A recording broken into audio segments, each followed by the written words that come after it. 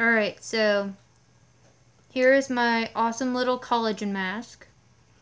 Um, as you can see, it doesn't fit perfectly.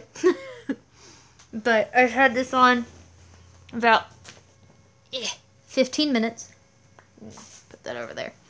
Um, my skin feels great. Uh, you see it looks a little wet. That's the extra collagen um, serum. And they suggest that you rub that into your skin. It feels, it's not gooey or gelled or anything like that. It really is kind of like a, um, a serum. Um, but it feels really, really nice. And because I put my my mask in the fridge, um, I got this nice calming effect over my entire face while I used it, and uh, I'm feeling pretty, feeling very pretty. Um,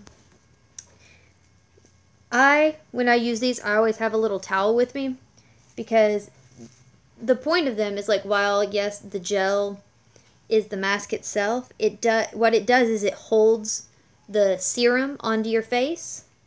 And I mean, the point is to have extra serum on your face. So, um, I always have a towel with me so that way if it gets a little too um, drippy, can clean it up because usually they say to lay down while you're doing this and you can't relax if you've got serum running down you your hands are all covered in it or whatever this one really wasn't that bad i've tried others where it's just like all over but um yeah, this mask is awesome. It comes in a bunch of different colors. Uh, it has a slightly sweet scent, I noticed. Uh, nothing cloying or, you know, it kind of smells like sugar water, I guess. Um, just sweet. It didn't really have a hint of fruit or flowers or anything like that. Um, felt great on my skin. I didn't have any stinging or burning or tingling or anything like that it just felt nice and calming. Um, definitely something I will use again. Uh, I really like how it feels, and it's different than you than using a mask that you have to scrub off. Uh, I think that's one of the reasons why my uh, sink clogs up so much is all the face masks that I wash down it.